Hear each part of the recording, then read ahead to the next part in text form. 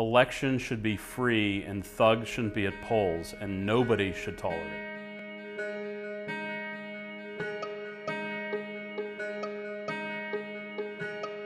Hi, I'm here at 1221 Fairmount in Philadelphia, and there's a guy with a billy club right here. Um,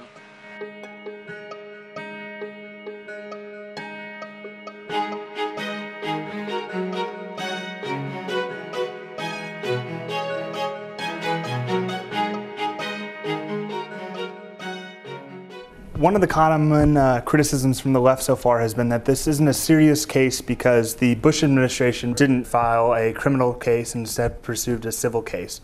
How do you respond to this criticism? Well, first of all, the Obama administration can bring a criminal case tomorrow. Uh, that is still a, the statute of limitations hasn't run.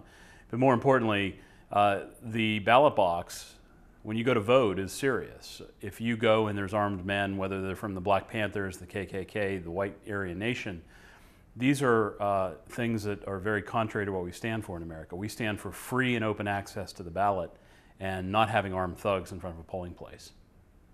Another common criticism is that uh, no voters have come forward to lodge a complaint. Uh, is this true, first of all? And if so, how does that impact the importance of this case? It's false to say that nobody was affected. There's sworn testimony before the Civil Rights Commission from eyewitnesses that voters uh, left there was sworn testimony that individuals were blocked from entering the polling place by the armed men working together. Uh, there's sworn testimony that they attempted to intimidate voters. So it's a falsehood to say that uh, this didn't affect anybody.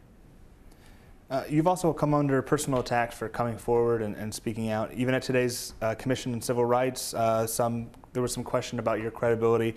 How do you respond to attacks like that? Well, it, there's other witnesses who are now corroborating the story. That's the first thing. Secondly, uh, when you lay it on the line and testify under oath that this happened, if it's false, then you could always charge me with perjury, uh, and I'll be able to subpoena witnesses. So that's not that's not a very credible attack, and it, it's also a way to avoid discussing the merits of the case.